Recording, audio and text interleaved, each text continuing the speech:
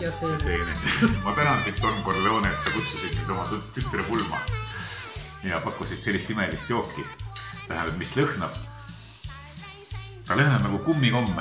Need on need rohelised ussikesed. ma selle firma nime ei tea, aga Ingrid ütles, et see on selline jook, mida kõikidest tema sadadest tuttavatest on suuteline jooma ainult üks inimene. et see pidi nii hull jook olema. ma esimest korda elus seda maitsen. Lõhn on hea, lõhn on super.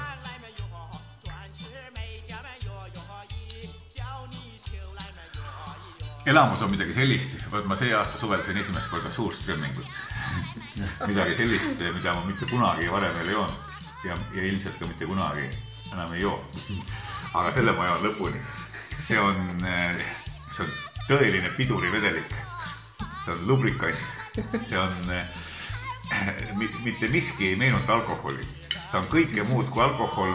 ta võib olla mis tahes kemikaal, mida müüakse pari-, mida müüakse parimates autopoodides. et selles suhtes ma saan aru küll, miks inimesed seda ei joo.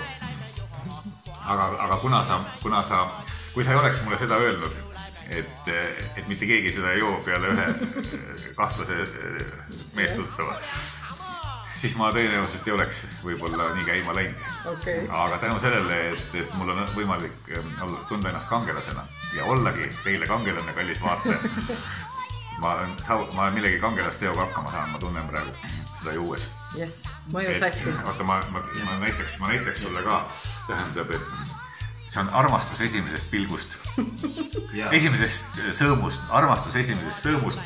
Ja siis Ingrid veel äh, pööras tähelepanu selle karbile.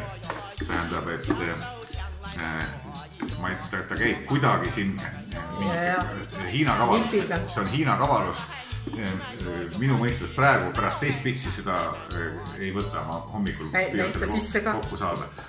ja, ja seest on ta, näeb välja nagu puusärk. siidivoodriga.